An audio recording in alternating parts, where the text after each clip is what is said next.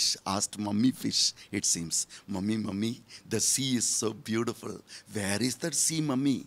It seems there are there is no uh, end for it. It is so huge, so deep. The mummy fish said, Hello, my dear, open your eyes and see, we are in the sea. And Jesus comes where they are. The disciples are going back to their village and they are having conversation. And Jesus goes to that point and says, What are you conversing? You are conversing about sadness, about failure of life. They got upset and angry. Don't you know? Are you a stranger? The answer is not welcoming one. Many of the times we don't understand God. We even yell at Him, but He can take up. He has carried away all of our sins. Will He not uh, tolerate even the little thing we do? He goes, puts up all that. Oh, ho, ho, what is that? He never gives them up. And when they were talking about their sadness, about Jesus, he slowly opens their hearts. He tells them, Was it not necessary that the Christ should suffer these things and enter into his glory? Do you want to experience the glory of Christ? He will be allowing you to go through certain type of suffering. The type of suffering that you go through is not the sign that God has left you or you are going through some misery. No, maybe the glory is waiting for you. Be alert to the truth, and the truth will set you free. Jesus said in John 12, verse 24, unless the seed dies, it cannot become a new life. It cannot become a new tree. It cannot bear 100 fruits. And God wants you to bear 100 fruits. This is the plan of God. Don't worry whether you have money, whether you have beauty, whether you have education. As long as you are in the hands of God, God will use you for the purpose for which He has chosen you. What you are, where you are, doesn't matter. Whether are you in the mind of God? You may ask me how to be in the mind of God. That's what Jesus is teaching the technique to these two disciples. Your mind is attacked by the enemy. Man is thought made by the thoughts. So the thoughts of the world is affecting you. That's what God said in Isaiah chapter 55, verse 8. Your thoughts are different from my thoughts. Your thinking is, your way of life is different from my thinking of life. So, what does God do? He says in verse 10 of Isaiah 55 when the land is dried up, when the land is considered as useless, you know what is that strategy of God? God brings rain and mist and makes the ground wet. And then from the so called useless ground, waste, dry up ground, God brings new life.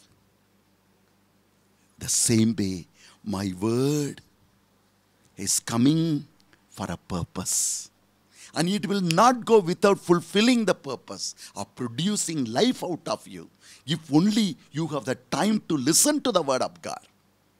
So, in Telugu, there is a beautiful saying the thorns have to be removed by thorns. ముళ్ళను ముళ్ళు ద్వారా తీసివేయాలి yes so the thoughts which are affected has to be renewed by thoughts that's why we need constantly the word of God. We who move into devotions, we move into crying, praying, good, that's okay. But we have to renew our minds. That's what we read in Romans chapter 12, verse 1 and 2. If you want to offer your bodies to a living sacrifice, okay. But without renewing your mind, you will be caught up with only yourself. Will people love me? Will people care for me? Will people do this for me? Will people acknowledge me? Will I get this work be done? Will I be successful in this? Will people reject in my company? Will I lose my money? all kinds of things the enemy will attack you. Only when you open yourself to the word of God, God will train your mind with his thoughts. When his thoughts are ruling you, your life will be built. A man from Malkajgiri, very far, he used to come very often to our place. He belongs to CSI Church. Especially on first Sunday, he will be at Moinabad. Sharp 10 o'clock, he will be here for adoration. 11 o'clock, the Holy Mass, he will participate. Seeing that he is not a Catholic, I asked him, Son, where are you from? What is that? I see you every month. He told me, Father, at least once in a month I have to come. Because the first Sunday of the month, you have the oil anointing. And I have to feed myself with the word of God. He gave a beautiful example. He said, when the rain season comes, we fill the dam with the water. And in the month of April, May, there is no water, no rain. But if we keep up in the dam, we can use it even in the month of March, April, May. We will have life. We will have crops. The same way, every month, the first week, I come to Moinabad and feed my mind with the word of God, with anointing of the Holy Spirit, oil, and I am safe. And he told me, I have taken oil from here and I went. One day, the Sunday, I participated in the Mass.